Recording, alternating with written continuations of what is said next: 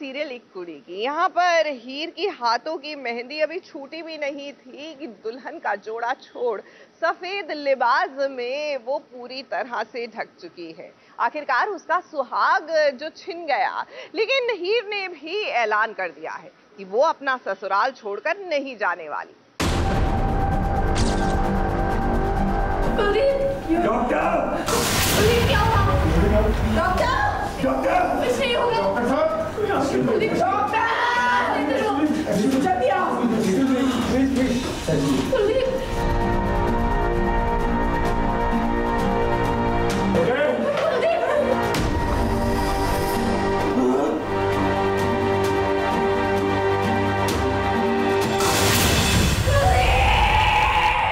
अभी एक दो दिन पहले ही हीर ने लाल जोड़ा पहना था। वो दुल्हन बनी थी।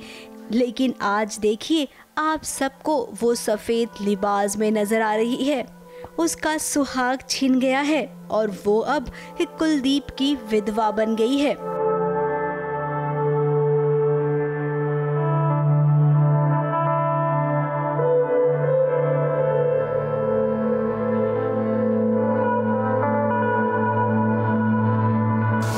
कुलदीप को कुछ पलों के लिए होश आया था। तब परिवार वालों को लगा कि अब वो खतरे से बाहर है। लेकिन फिर अचानक से उसकी तबीयत कुछ इस कदर खराब हुई कि वो भगवान को प्यारा हो गया।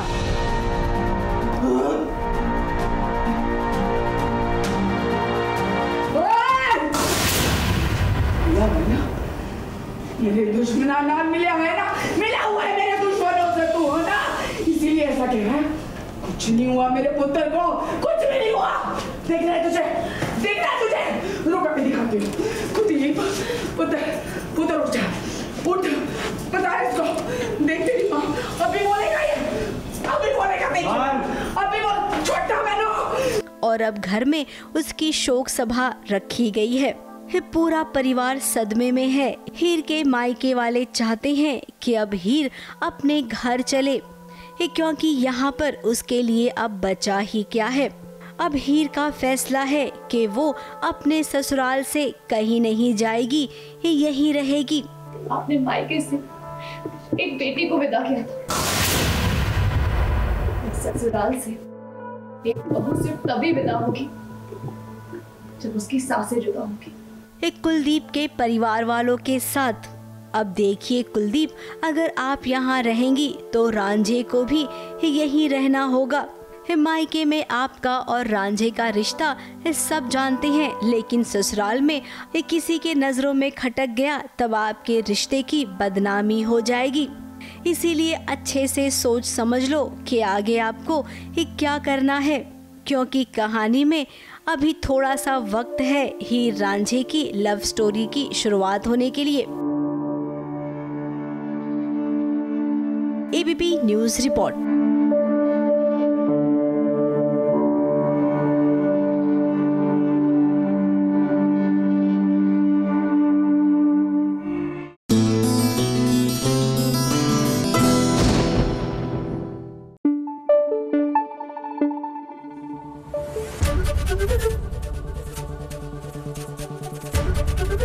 ABP news आपको रखे आगे।